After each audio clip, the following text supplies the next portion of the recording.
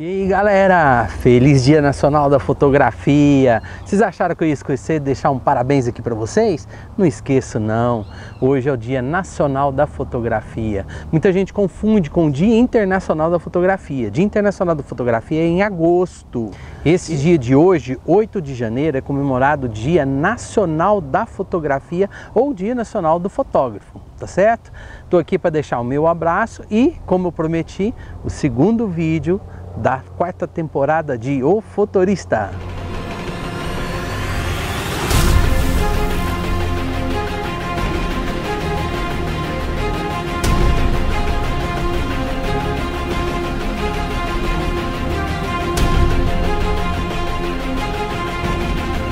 Bom pessoal, como eu havia prometido para vocês, eu vou dar uma sequência nesse ano e a nossa sequência de vídeos vai ser um pouquinho diferente.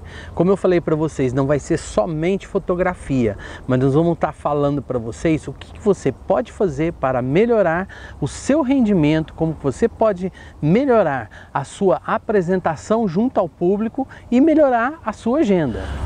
Hoje nós estamos aqui em um outro parque da cidade de Uberlândia, que é o Parque Siqueiroli, e estamos aqui num lugar bem fresquinho, gostoso, bem interessante. Essa semana eu vou estar fazendo mais um ensaio, e nesse ensaio eu vou estar colocando para vocês aí no canal.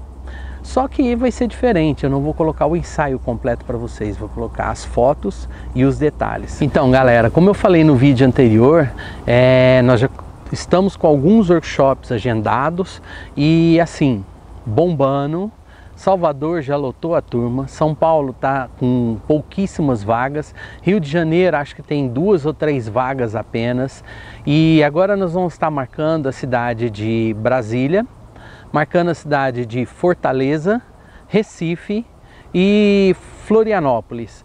Tudo está sendo assim feito é, com calma, para que a gente possa obter o melhor resultado possível para vocês também. São Paulo alugamos uma casa lá excelente, linda para fazer o nosso workshop, nosso ensaio. No Rio estamos procurando um local bem bacana também, com segurança para todo mundo, porque o que a gente mais preza nos nossos workshops é isso, segurança. Não é somente passar para você o que a gente tem de conhecimento ou de experiência, mas a gente tem que prezar pela segurança de todos os participantes. E antes de a gente fazer um ensaio, mostrar para você um ensaio que nós já estamos programando, estamos com arrumei um modelo muito bacana, ela chama Karina, é uma mulher linda, sensacional, nós vamos fazer um ensaio lindo com ela. Mas o ensaio está marcado para sexta-feira, então somente a semana que vem que vocês vão poder ver as fotos e como foi feito o ensaio. É, antes de poder falar realmente sobre isso na fotografia, sobre fotografar, nós precisamos ver alguns detalhes o que tem acontecido muito no mercado fotográfico? Eu tenho notado que vários fotógrafos estão entrando, investindo pesado, comprando equipamento, entram, ficam um, dois, três anos e já estão saindo do mercado. Por que está acontecendo isso? Você já se perguntou por que, que você ainda não tem o sucesso que você deseja? Por que, que sua agenda não anda cheia? Então, esse ano eu vou estar falando com você sobre isso. Por que, que você não está conseguindo alavancar o seu negócio de fotografia? Porque a gente vê muitas pessoas de sucesso, mas também está vendo ultimamente muitas pessoas fracassando.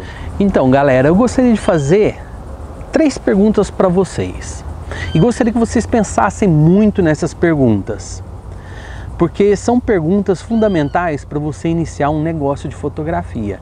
E se você já iniciou o seu negócio de fotografia e já está trabalhando com fotografia, responda essas perguntas também para você ver se está no caminho certo. Primeira coisa, você tem todo o equipamento que você precisa? Esse equipamento que você possui hoje te atende em todas as suas necessidades? E a terceira pergunta: você tem todo o conhecimento necessário para usar o seu equipamento? Pensem bem nessas três perguntas, respondam aí. Se quiser me mandar algum comentário, mandar alguma mensagem, manda para gente, para gente ir conversando. Mas o que eu vejo muito hoje no mercado, que eu tenho acompanhado, são fotógrafos é, gastando muito dinheiro com equipamentos, com lentes, com câmera, é, com rádio, com flash, despendendo muito dinheiro nisso e economizando dinheiro na hora de fazer um curso, na hora de fazer um workshop, na hora de estudar. Porque de nada adianta você ter o melhor equipamento se você não souber usar o máximo de recursos desse equipamento. A tecnologia veio para nos ajudar, para nos servir, para facilitar o nosso dia a dia. Eu falo muito nos, nos workshops que às vezes é, pergunto, né? Quanto tempo você gasta para fazer um ensaio de 15 anos? Ah, em média 3 a 4 horas. Ok, 3 a 4 horas. Quanto tempo você gasta editando essas fotos de 15 anos? Ah, eu gasto um dia e meio, dois dias. Então tem alguma coisa errada aí, vocês não concordam? Eu costumo muito dizer ao pessoal que é o seguinte: o tempo que você gasta para fazer um ensaio, o tempo de edição tem que ser igual ou inferior ao tempo de ensaio certo? Sendo que o ideal seria quatro horas de ensaio, duas horas de edição, no máximo. Poxa, Maurício, é quase impossível. Por que, que é impossível? Você já se perguntou por que é impossível? Por que não é possível? Porque as suas fotografias não estão tendo um padrão. Tem momentos que elas ficam subexpostas, tem momentos que elas ficam super expostas, tem momento que você não enquadra direito, não foca direito. Então, o que, que você precisa saber? Você precisa ter um conhecimento técnico para que você coloque tudo isso dentro da sua câmera, dentro do seu trabalho, na sua configuração, para que a hora que você for fotografar o casal, o modelo, a criança, você simplesmente clique. Então, se você tem todo o conhecimento técnico, o seu trabalho é fácil. Eu chego a bater, às vezes, num evento, dependendo do tipo de evento, de 500 a 1.500 fotos. Eu entrego em 24 horas para o cliente. Esse é o meu diferencial no mercado hoje. A rapidez com que eu entrego o trabalho. E tem muitos trabalhos que eu entrego dentro do próprio evento. Vocês têm me acompanhado aí, sempre têm visto que eu faço, a maioria dos meus eventos tem sempre foto impressa. Eu fotografo, imprimo e entrego para o cliente. Eu faço impressão online, que é aquela que já sai automaticamente da câmera, conecta no computador, sai impressão.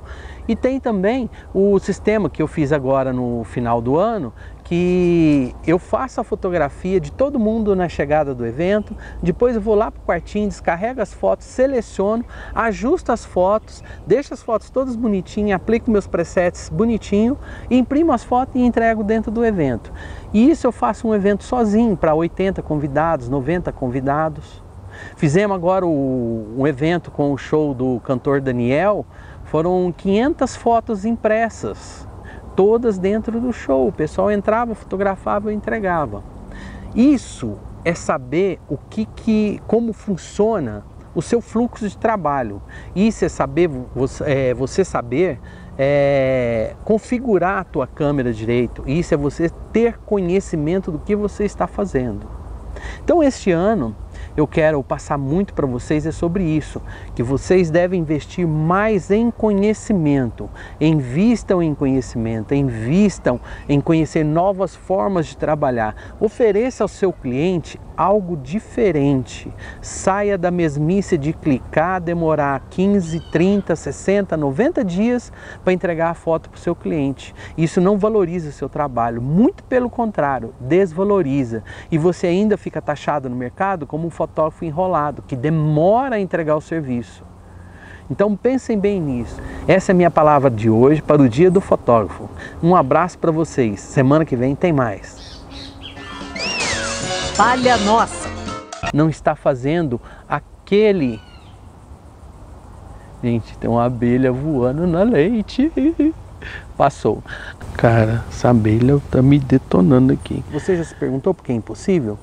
Porque suas fotos estão. Caraca, meu. Tem padrão as suas fotografias. Tem hora que ela fica super exposta,